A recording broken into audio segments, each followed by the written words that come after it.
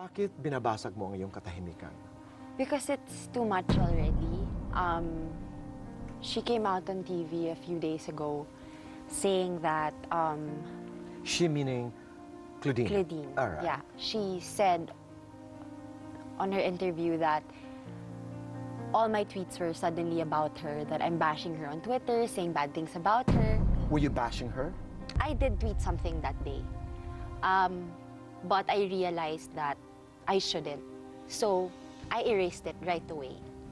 But she saw it. Bakit mo nalaman na nabasa niya? Actually, um, that same, after the, her interview,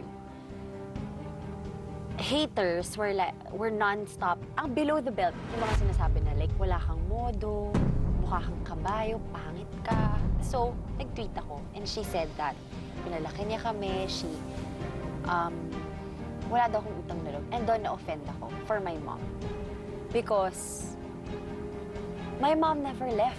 She was always here. Sinabi ko na, walang ibang nagpalaki sa amin kung hindi mommy ko. Doon siya na-offend. Then she tweeted. I did not mean to like offend her. Pero she spent time with you.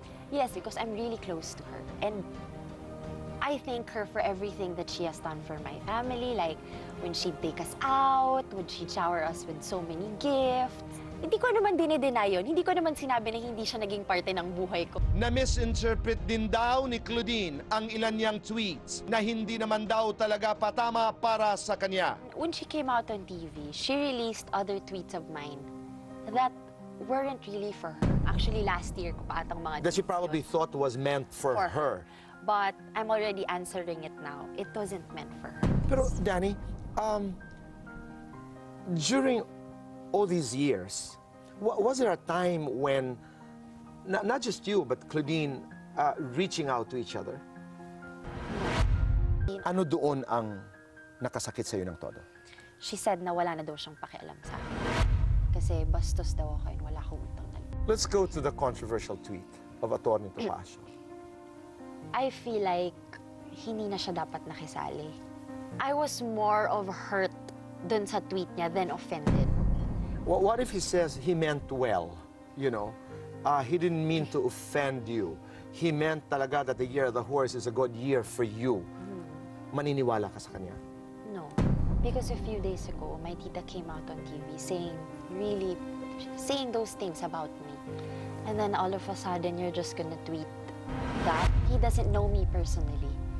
So what is he trying to say? You realize that after this conversation, mas lalong dadagsain ka Yeah. I- ng iba't ibang klaseng reaksyon. From bashers to haters. Uh, you ready? I'm ready. Because I'm doing this interview to um, clear my name na pinalaki ako ng maayos ng nanay ko.